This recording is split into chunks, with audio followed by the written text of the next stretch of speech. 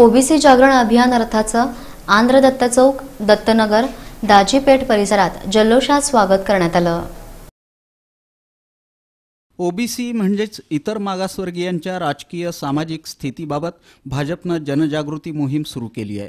OBC जागरण अभियान रथाला भाजप ओबीसी मोर्चानं एलईडी रथाद्वारे विविध भागात तीस मिनिटांचं भाषण कथित केलं आहे भाजप नेत्यांची ही भाषणं ओबीसी आरक्षण रद्द करण्याच्या विषयावर केंद्रित आहेत. दत्तनगर दाजीपेठेतील आंध्रदत्त चौकात भाजपचे ज्येष्ठ नेते रामचंद्र जन्नू आणि पांडुरंग दिड्डी यांच्या हस्ते रथाचं उद्घाटन करण्यात आलं. यावेळी भाजपचे शहर संघटक सरचिटणीस रुद्रेश बोरामणी चिटणीस नागेश सरगम अनिल कंदलगी शहर मध्य पूर्व मंडल बूथ प्रमुख दत्तात्रय पोसा नगरसेवक नागेश वल्याळ नागनाथ सोमा आनंद बिर्रू शहर मध्य पूर्व मंडलाध्यक्ष सुनील गौडगाव कोषाध्यक्ष किरण भंडारे प्रभाकर अप्पम विश्वनाथ बदलापुरे अनिल वंगारी दीपक पोसा मनोज कलशेट्टी शावर सिद्ध कोंडा प्रकाश गाजूल नागनाथ बंडा अंबादास लोकुर्ती आदींची उपस्थिती होती.